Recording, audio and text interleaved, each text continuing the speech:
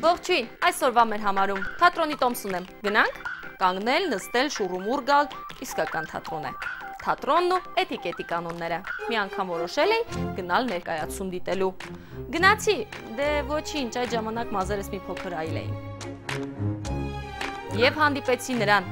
Իհարկե այս մասին մի փոքր ուշ։ Հայաստանում թատրոն հաճախելը ձերքի հետ կատարվող գործողություն է։ Արտասահմանում այս ամենին շատ լուրջ են վերաբերվում եւ որpիսի լինես թատրոնի հանդիսատես, պետք է լինես բավական պատրաստված։ Այն երկրներում, որտեղ որ բարձր գնահատվում դերասանի արվեստը, կինոն, թատրոնը, խաղը միանշանակ կուլտուրան բարձր, օրինակ Ռուսաստանում այդպիսի, Իտալիայում, Ֆրանսիայում, Գերմանիայում շատ խիստ կանոններ գոյություն ունի, օրինակ այնտեղ կանոններն այդպիսին են 15 րոպե առաջ արդեն ելույթից փակվում են բոլոր դռները, ինչքան էլ դու շացել ես, ինչքան էլ թանկ արժեր քո տոմսը, միևնույն է, ոչ մի զիջում գոյություն չունի։ Օրինակ Գերմանիայում եթե դու դուրս եկար, այլևս իրավունք չունես ներս մտնելու անգամ ինչքան էլ կարևոր լինի քո դուրս գալը, դա հաշվի չի առնում թատրոն հաճախելն էլ իր դրեսկոդն ու սանրվածքն ունի։ Չի կարելի բարձր այդպեսի սանրվածքներով ներկայանալ մի մի բարձ պատճառով, որպեսզի յետևի նստողեն չխանգարել եւ նաեւ օծանելիքի հետ կապված, որովհետեւ միջոցառումը բնականաբար շատ մարդիկ են լինելու, սրահը ջերուցվում է եւ ծանր հոտով օծանելիքը արդեն խնդիրներ հաստատ կառաջացնի։ Հաստատություն մտնելուն պես հաճելի դեմքով մի կին կգա ձեզնից կվերցնի վերաշկուն ու պայուսակը եւ կվստահեցնի, որ ոչինչ չի կորի պատկերացրենք սրահը ցուրտ է եւ մենք պետք է մեր վերարկոյով կամ պլաշով մտնենք։ Միանշանակ դա կարելի է կախել դիմացի քո հատվածի թորի վրա։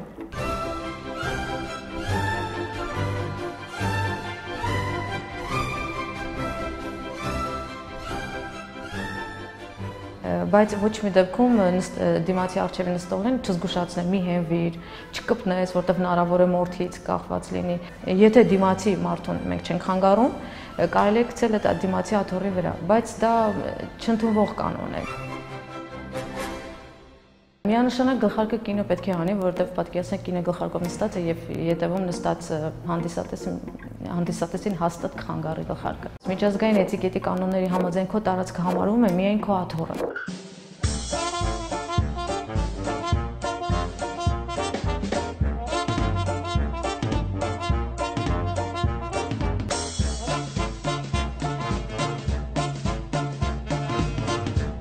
տեսակ չէ ինչ արեց։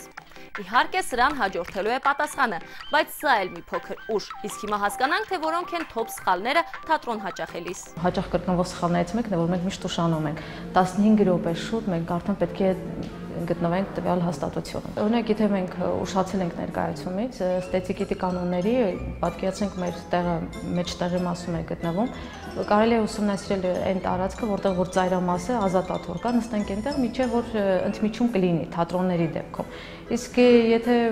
տեղ չկա, ընդհանրապես պետք է անցնենք հետևա մասով դեպի հանդիսատեսը, չի կարելի։ Արջևի մասով թեքվում ենք եւ ներողություն խնդրելով անցնում ենք։ Եթե անցնողը կին է եւ տղամարդը նստած է, բնականաբար քաղաքավարության կանոնների համաձայն տղամարդը պետք է մի փոքր բարձրանա, ետ քաշի եւ կնոջը զիջի։ Ամենատարածված սխալներից մեկը դա հեռախոսի չանջատելն է, հեռախոսի ձայնն է, ծամոն ծամելն է, խոսելն է, անդադ աղմկելն է, կամ ինչ որ մի բան վերցնել եւ սրահում ուտելն է։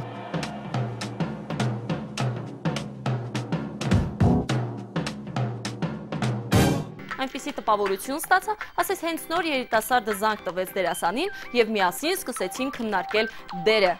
երիտասարդի դերը։ Մենք մի պահ չկարողացանք զսպել մեր էմոցիաները։ Իսկ ինչ կարելի է անել առաջացող տպավորությունների հետ։ Թատրոնը, օպերան, այսինքն կենթանի խաղը ինքը համարվում է երկխոսություն հանդիսատեսի հետ։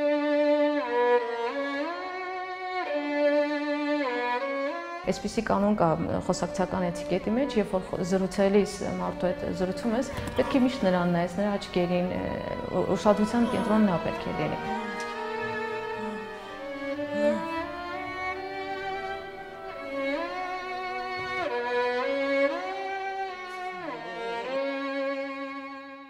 Պատկերացրեք, մենք զրուցում ենք ու մեր աչքերին չեն նայում։ Մենք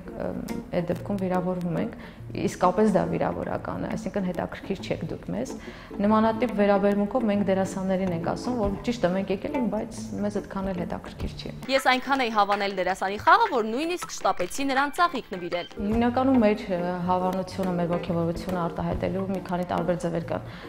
Սկսած ծափահարությունից մինչև ծաղկեփունջ, անգամ մոտենալ անձամբ դերասանին, շնորհակալություն հայտնել, գովեստի խոսքեր հայտնել։ Դա արդեն կանոնները թելադրում են, ինչպեսին պետք է լինի։ Լինում է, որ բեմականացումից հետո ամիջապես ավարտելուց բացվում է վարակույրը եւ կարող ես բարձրանալ բեմ, տալ ծաղիկները, մի երկու կարճ խոսք, ոչ երկար ասել դերասանին եւ դուրս գա։ Այս վերջերս նորամուծություններից ելնելով անգամ ցանկանում են նկարահանվել, դա բեմում չի կարելի։ Նկարահանվելու համար կարելի է խնդրել դերասանին, դերասանը հաստատ ժամանակը տրամադրի, որտեղ դա իր համար է եւ ներքևում կամ կուլիսների ետևում հաստատ նկարահանում տեղի կունենա։ Ես հավանել էի ներկայացումը Իսկ նա պատկերացնենք ներկայացումը մեզ դուր չի եկել,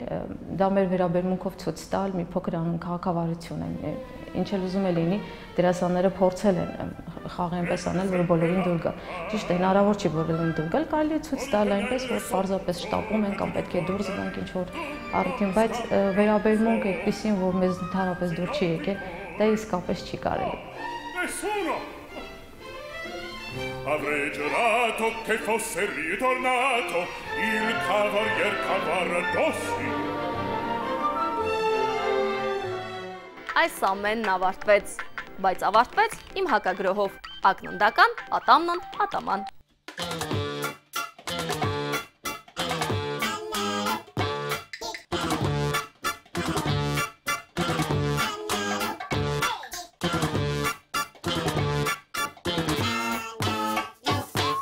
Քանի հիշում ենք թատրոն գնալու էթիկետի կանոնները, գուցե գնանք այսօր ներկայացում դիտելու, կանոնավորենք օրը միասին։